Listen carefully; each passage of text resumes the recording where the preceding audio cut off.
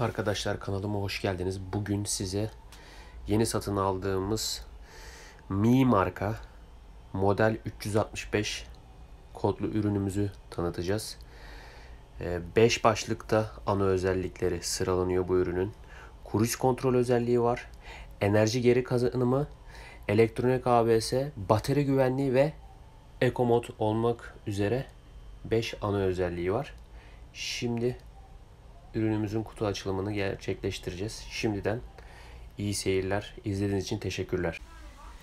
Arkadaşlar kutuyu açtık. İçinden e, şarj adaptörü, ara kablosu ve bir adet e, şişirme aparatı çıkıyor.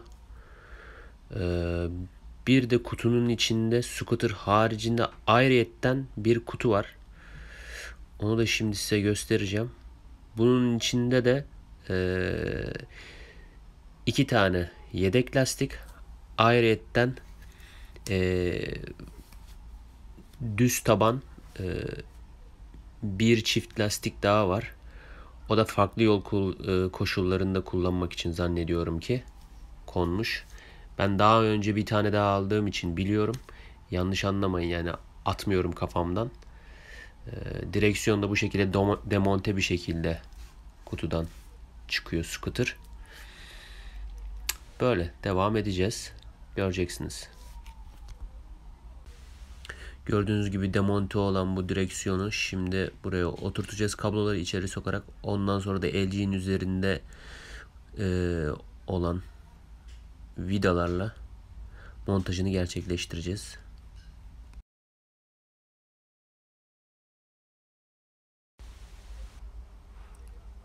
Evet gördüğünüz gibi oturttuk. Şimdi vidaları da alacağız. Montajı tamamlayacağız. Ondan sonra şarjı fullleyip sadece binmek kalacak bize.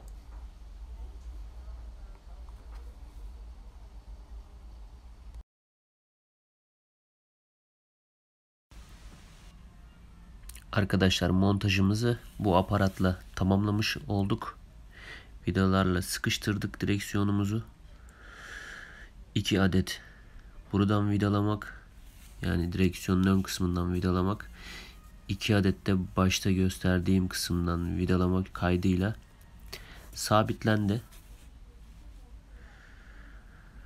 Artık arkadaşım güle güle kullanacak inşallah. Şarj durumu da bu şekilde. Kutudan çıktığı hali bu.